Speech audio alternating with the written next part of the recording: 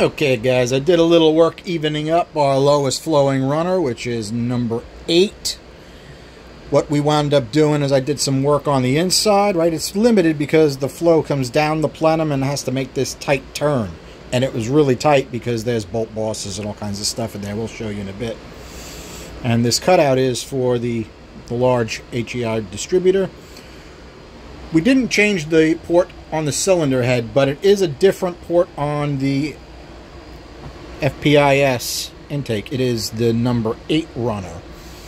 And this is the number 8 Arizona Speed Marine runner.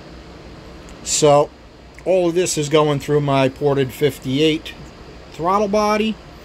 I'm going to take this apart. I'm going to show you what I did on the inside. Is everything completely finalized? It's pretty close, you know. I may see a little something here and there that I don't like, and I'll work on it. I did want to snake my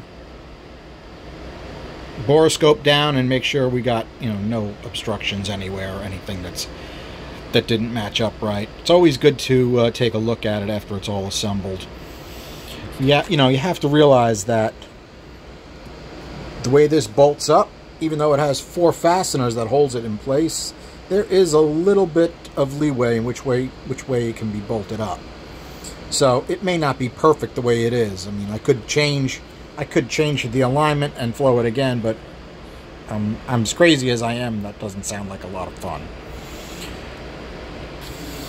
Okay, guys, kind of interesting. This was the the same intake port on the cylinder head, but it was the number one runner done up, and it was the number one runner in the the plenum going through my BBK. And we, we maxed out, we got like 130 at 300, we got 232 at 0.4, and 235.5 at 600. So it's right in this area that we're, we're maxed out. Now, I work on the number one because I figure it's one of the lowest flowing runners. It turns out number eight is even lower. I didn't realize that before I started this project, but now I see why. So I did what I could on it. Is it possible I could do more? Yeah, maybe. I'll take a quick look at it with the borescope and see what it looks like.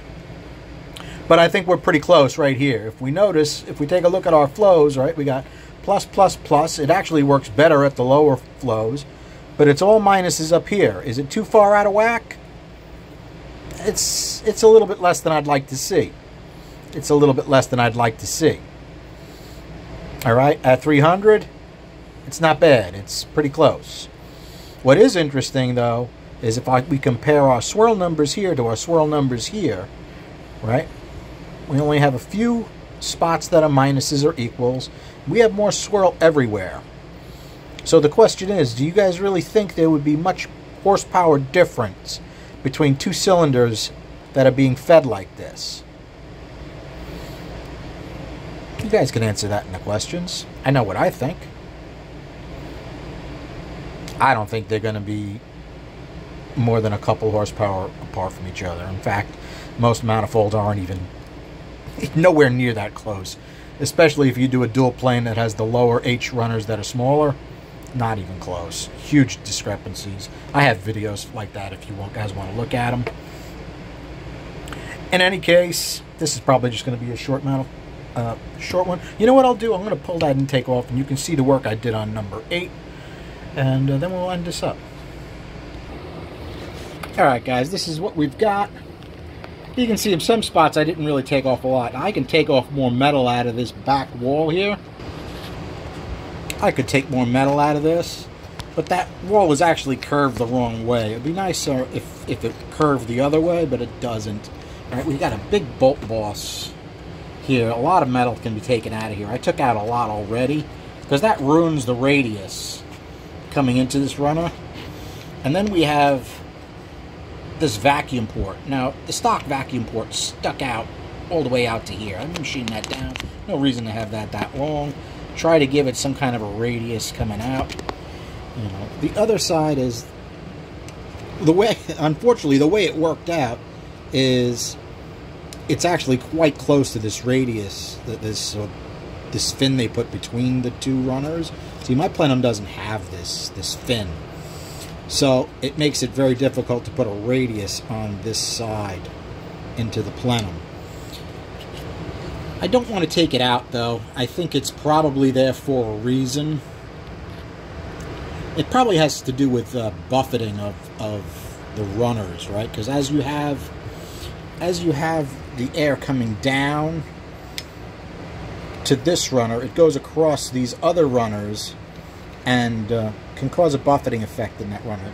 Kind of like uh, ram tubes on carburetors, right?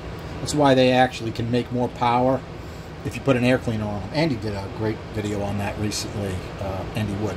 You should definitely check that out, Unity Motorsport. He's doing a lot of cool stuff lately. So, in any case, could I do some more work to this? Yeah. You know what? In your comments, let me know whether I need to waste any more time on this, or you think we're probably pretty good where we are. And uh, we're at six minutes, guys. It's going to be a shorty, but I'm good with that. Thanks for hanging out. Have a good night.